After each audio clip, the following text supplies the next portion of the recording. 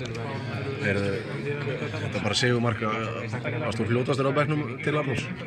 Já, gott ef ekki. Ég er hérna, þess að síðustu 20 voru svo erfiðar maður að horfa frá bekknum, maður var farin að byggja og ég veit ekki hvað sko, þannig að það var bara æðislegt. Hvernig var það spilingin að skora þér, tilvíkinn að skora þér markið? Já, bara þú veist, þú veist, ég veit það ekki eins og þetta var bara æðislegt og, og hérna, þetta er bara eitthvað sem alla dreymir um sem, sem byrjar að spila hópolta og að skora á EM í fyrsta skipti í sögu Íslands er bara ótrúlegt og ógslag gaman. Svo þú ætlaði að hlaupa út af vellu og skora með Tyrki með tvistamar, hvernig hvernig þannig? Þú hljóft nú út af hlilinu núna. Já, þetta var kannski aðeins betra fag núna, þannig að ég er sáttur með það. Voru rittari? Já, reyn, reynslan, reynslan er góð. Hvernig voru tilfinningar þarna inn í klefa til hvernig, hvernig var andrúrslótt?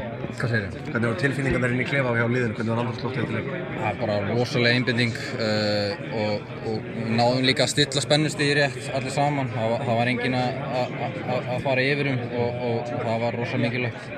England á mánudaginn, þetta er dörfuglega draumur allra sem hafa áhuga fókbalt á Íslandi því að eins og þú og ég svona auðvitað upp við að horfa einska bóltan. Já, akkurat. Maður horfði á þetta stöðu þegar maður var inn á á Íslandi og maður elst líka upp við náttúrulega að horfa á einska boltan og hérna, síðan hjælt maður með Englandi líka á öllum þessum stórmótum og þannig að það verður bara æðislegt og, ég get ekki beðið.